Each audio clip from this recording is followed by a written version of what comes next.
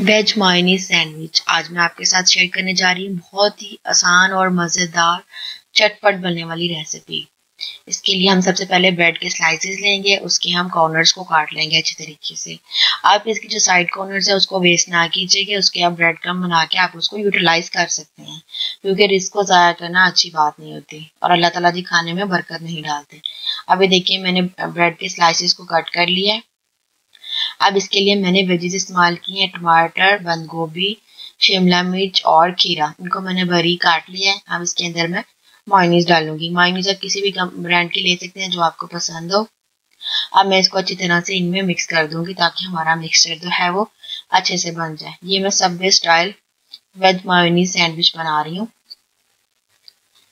ये बहुत ही मज़े का और झटपट बनने वाली रेसिपी है। ये आपके शाम के आइटम में एक मज़ीद इजाफा कर देगी। देखिए मैंने ब्रेड के ऊपर इसको स्प्रेड कर रही हूँ।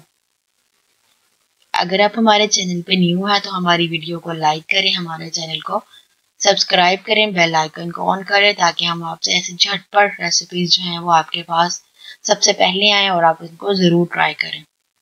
देखिए मैंने इस पे सब आ, सारे स्लाइस पे इसको स्प्रेड कर रही हूँ अच्छे से। अब इसके ऊपर हम दूसरा स्लाइस रख देंगे। देखिए, हमारा जो है, वो सैंडविच बिल्कुल रेडी है इसको। बनाने में हमें बिल्कुल टाइम नहीं लगा। अब हम इसको कट करके और खा कर दिखाऊँगी कि कैसा बना ये सैंडविच ये देखिए, मैं अब आपको इसको टेस्ट करके बताती हूँ।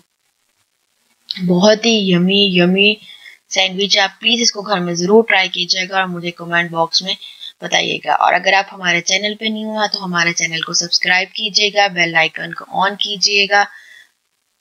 ये आपको बहुत ही टेस्टी लगेगा और अपने बच्चों को भी मस्त ट्राई करवाइएगा।